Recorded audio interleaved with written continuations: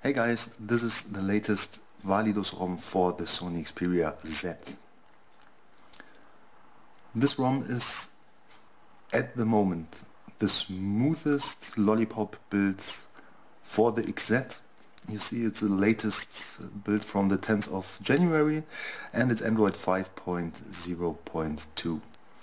I'm running this ROM for three days now and I encountered no problems till now. Only thing is performance options is empty.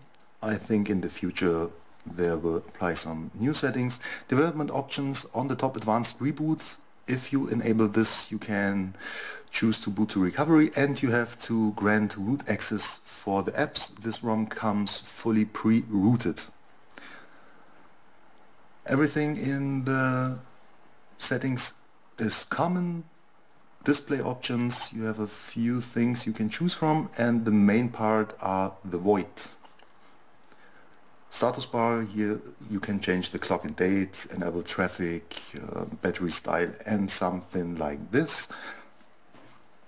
A lot of features um, were implemented with this latest build.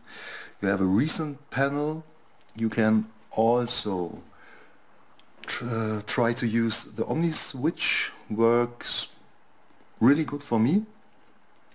You can activate it on start, you can choose which animations you like to have, um, if this Omni switch bar should be transparent and something like this.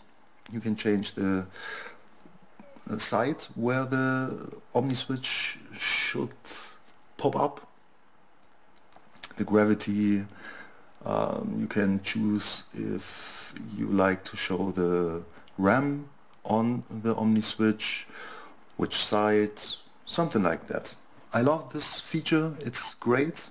The only thing I'm missing really is the Pie control.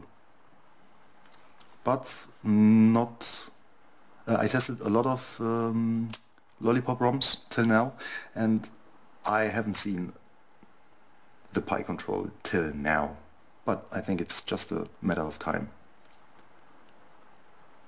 So you can see you have a lot of options to configure your Omni switch. I think that's enough yes. Next point are the animations. Here you can choose list view animations. Like it's the kind how the text scrolls into the window and you can choose uh, AOKP animations like wallpaper opening and something like that, that and toast animations like how this little notification switches into the window. Oh, switch onto the screen, sorry. English is not my common language, so excuse it, please. So there are a lot of options you can choose from. I stay with this, I think. Um, yes. Odds and ends. You have the app circle sidebar working pretty well. You have to activate it and include apps.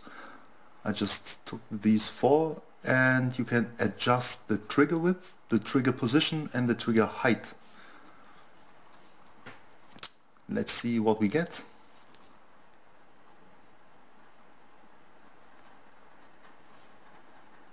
So once more, extreme smooth, great option, nicely made and it worked three days for me without any problem gesture anywhere.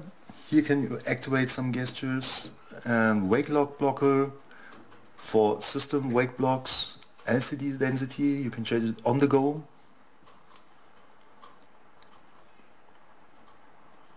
Screen recorder, I use the SCR at the moment and the best part is the Viper for Android audio mod. This mod works pretty well for me, it's great to have this, it's a great audio mod. I can only say use it. Validus ROM, that's it. It's a great ROM. It's fun to make uh, this video and it's fun to use this perfect ROM. Thanks for watching.